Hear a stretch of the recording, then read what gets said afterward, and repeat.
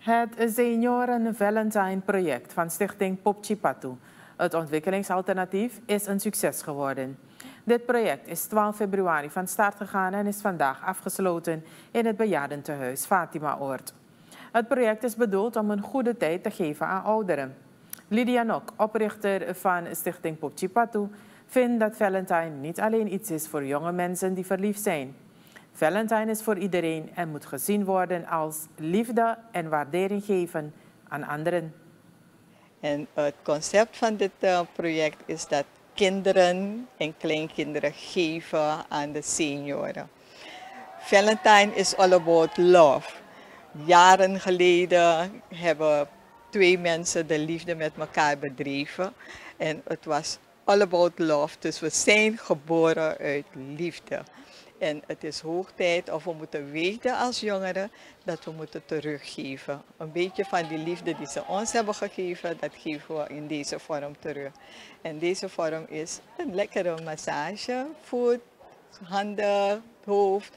En wat uh, nog misschien belangrijker is dan die massage, is de babbel die ze met ons kunnen maken. We socializen met ze, we babbelen met ze. En een kleine aanraking geeft ze zoveel vertrouwen, waardoor ze heel veel vertellen aan ons. Hoe was hun jeugd? Wat hadden ze graag nu? Hoe kijken ze tegen de omstandigheden nu aan? Trouwens, ze zijn gewoon vrij om alles te vertellen. En geloof me, Atori Itaki. Ook de leiding van het tehuis is ingenomen met dit project, vooral hoe zij weinig konden bewegen met de COVID-19-pandemie. Een seniorenburger zegt genoten te hebben van dit project.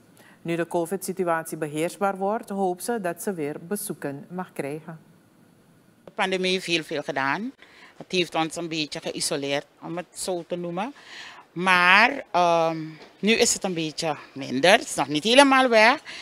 En we zijn blij dat we toch met de regels in acht nemen natuurlijk, toch de bewoners een leuke dag kunnen geven. Dus dat valt wel mee. Ze komen met hun mondmaskers, er wordt gedesinfecteerd, dus we letten wel erop. En de mensen die binnen zijn gekomen, komen natuurlijk met hun vaccinatiebriefje en mijn bewoners zijn ook gevaccineerd. Dus we proberen de afstanden te houden en zodoende toch een prettige dag van te maken. Want mijn kinderen kunnen niet komen. Alba zit in het buitenland. Canada en Nederland, dus ze kunnen niet komen. Dus, maar ze bellen regelmatig, elke dag, elke dag bellen ze.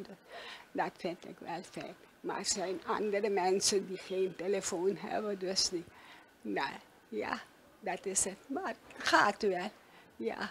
Nou, God zal ons eruit helpen, want alles is nu weer veranderd, want uh, ze mogen weer bezoek hebben wij mogen ook bezoek hebben. Dus uh, het gaat wel weer. Dus ik hoop dat ze heel gauw komen.